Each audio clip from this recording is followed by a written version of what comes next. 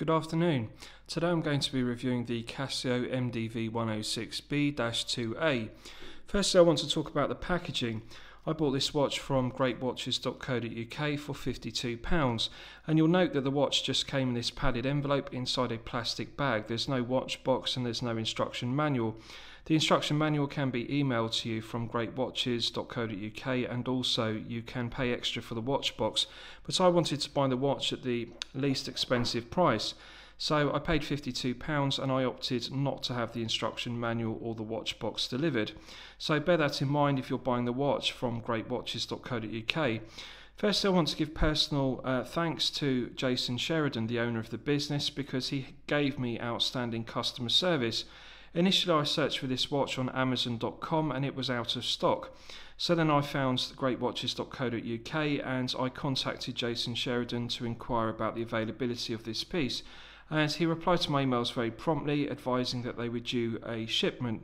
So he kept me updated and immediately informed me when the blue version of this watch came into stock. So I want to highly recommend his business and thank him for his excellent customer service.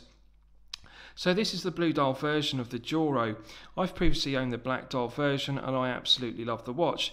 When I'm considering reviewing a watch on my channel, it needs to meet two criteria. The watch should be both excellent quality and excellent value at the respective price point. And I really feel that this watch at £52 really does meet both of those criteria. It is both excellent quality and excellent value. I absolutely love the blue sunburst dial and I think that the blue aluminium bezel insert complements that blue sunburst dial. It really is finished to perfection.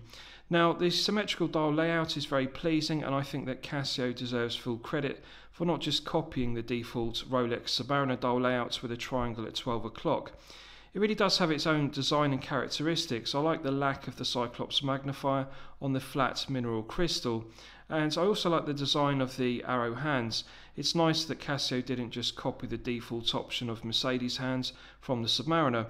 At the 6 o'clock position you can see the Marlin and on the reverse of the watch on the screw down stainless steel case back you can also see the Casio Marlin. The Marlin is used to denote that the Casio watch has 200 meters of water resistance. So this watch has a 200 meter water resistant crown. It's a screw down crown which provides an effective hermetic seal. The crown is made from stainless steel and is very well executed. It's silky smooth to operate. The screw down stainless steel case back is also very well executed and it provides a second effective hermetic seal to 200 meters of water resistance. So with regards to the watch, it's a large piece, it's 44 millimeters case size, and it has a lug-to-lug -lug measurement of 48 millimeters.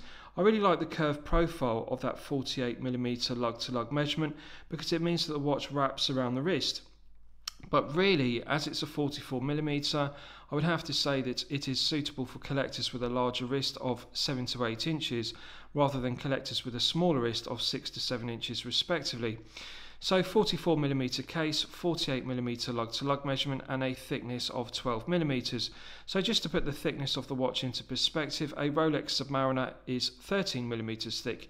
So this is a full 1mm thinner on the wrist and although it's large because of the 44mm case, it's a relatively light piece and it doesn't wear with great heft on the wrist and therefore it's an incredibly comfortable piece due to the low profile of that flat stainless steel screw down case back.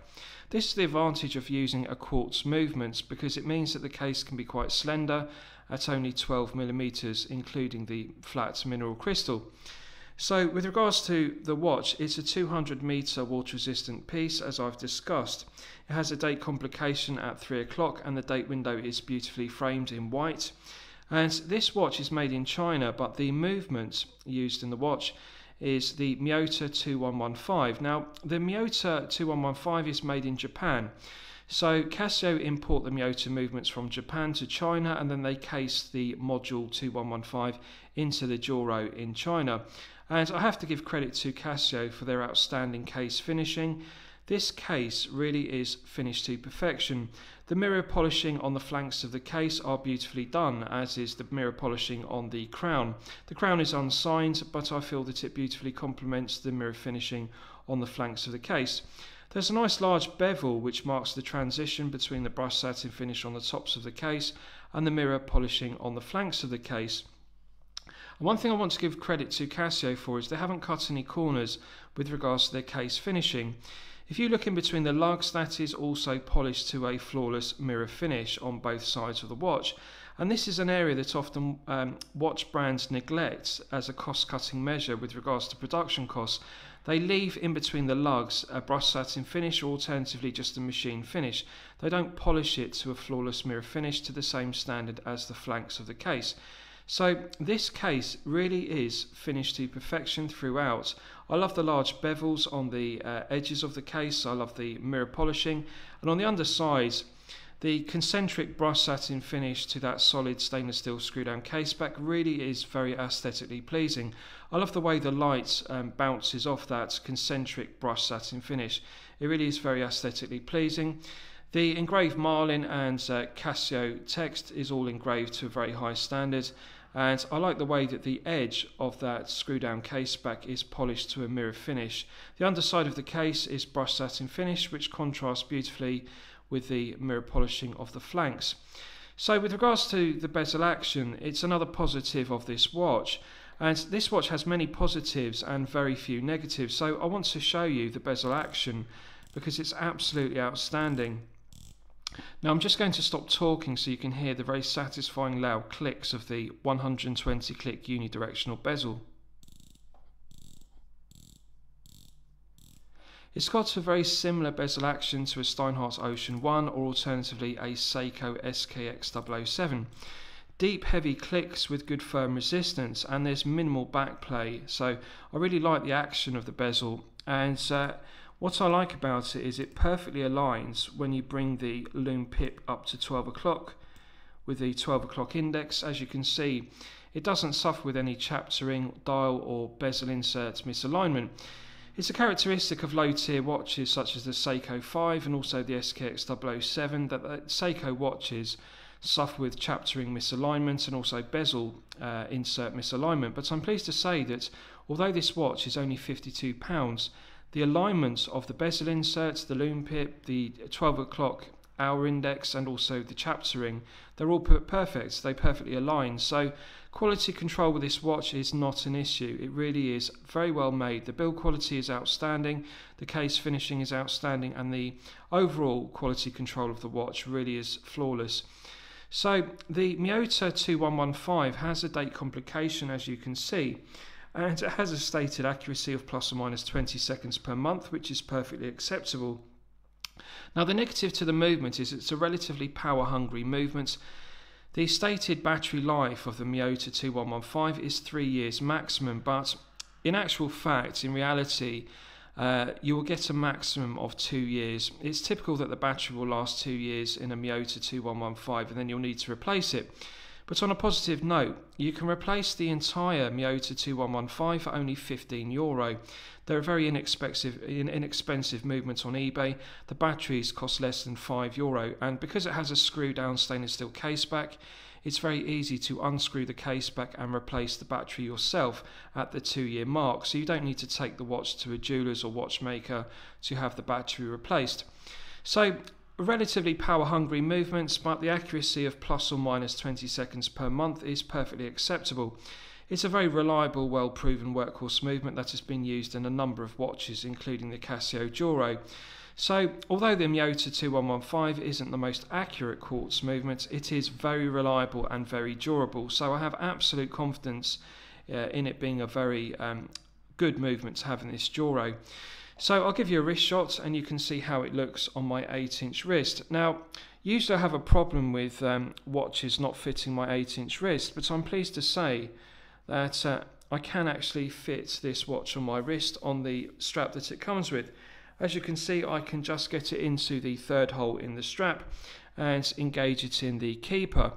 Now, there's only one keeper on the strap. On some dive straps, they have two, um, but I think it's perfectly acceptable. Just have one keeper on the strap, as you can see, it does an effective job.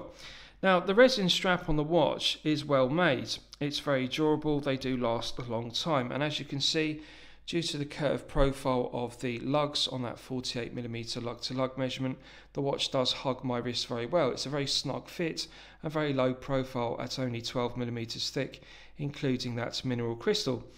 But I would say if you want to improve and enhance the comfort of the watch, it's really worth replacing the resin strap that the watch comes on because although it's durable, it does have a rather plastic feel to it. The underside of the resin strap also has teeth for the keeper to engage in, so it stops the keeper sliding up and down the strap, which is very functional.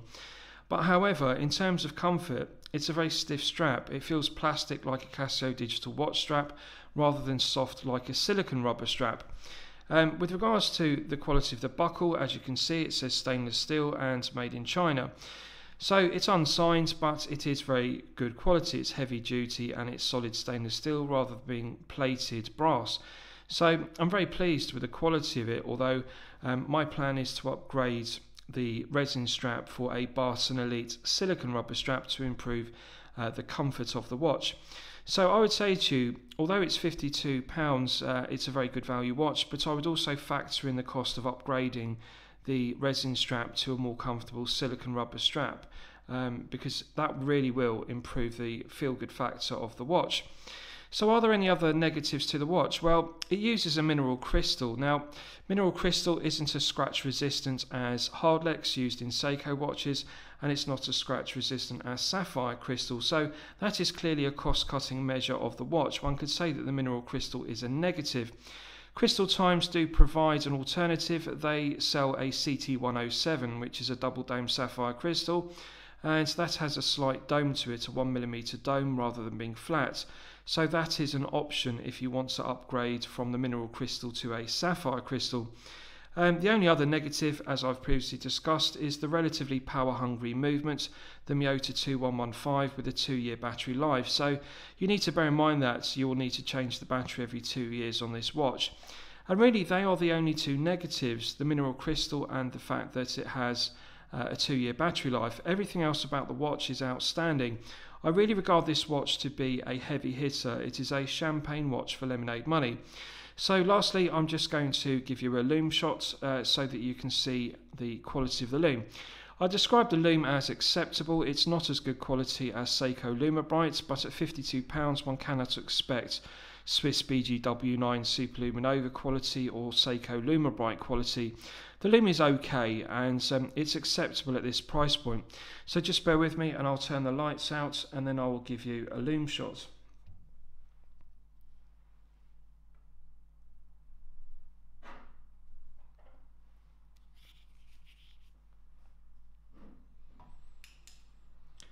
So I'm just going to charge the lume up with my 100 LED torch and then you'll see the lume at its absolute maximum.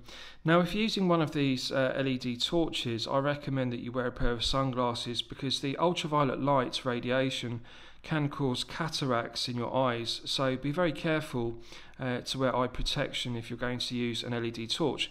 This LED torch has 100 LEDs so it's very effective in charging up lume but it also um, emits a large amount of uh, UV radiation which can cause cataracts. So always wear eye protection if you're going to use an LED torch like this. So as you can see, uh, the watch is now fully charged and initially the green lume does um, emit very well. Uh, it does react very well to the ultraviolet lights but it quickly begins to fade. So I find the lume to be very aesthetically pleasing initially uh, but however, the performance of the lume isn't anything like as good as uh, Seiko LumiBrite, for example, which glows much brighter and for a better length of time. So I would say that um, the lume on this watch is okay, it's acceptable, but it's not anything special, it's not outstanding. So really, if you're looking for better lume, I would suggest either buying a Seiko 5 or an alternative Seiko watch, because really Seiko LumiBrite is much better quality than the lume that Casio are using. So that really is the other negative to the watch, the fact that the uh, lume isn't anything special. But overall, I'm still going to highly recommend the watch for your consideration. At £52, I really don't think it can be beaten. It is an incredibly aesthetically pleasing watch. The build quality, the case finishing are outstanding, and I really love that blue sunburst style, the way it beautifully complements the blue aluminium bezel insert. If you like watches that don't have a lot of heft, they're not heavy to wear on the wrist, but a large case size, this really is the perfect watch for you at only 12 millimeters thick. but it has 44mm case diameter. So if you're a collector with a larger wrist, at £52 this watch cannot be beaten. It is a heavy hitter. I absolutely love the look of the watch at all angles. I think it is just a very good looking piece. So I hope you've liked my review of the Casio Duro MDV 106B-2A. Please feel free to post your own comments below the video. Thank you very much.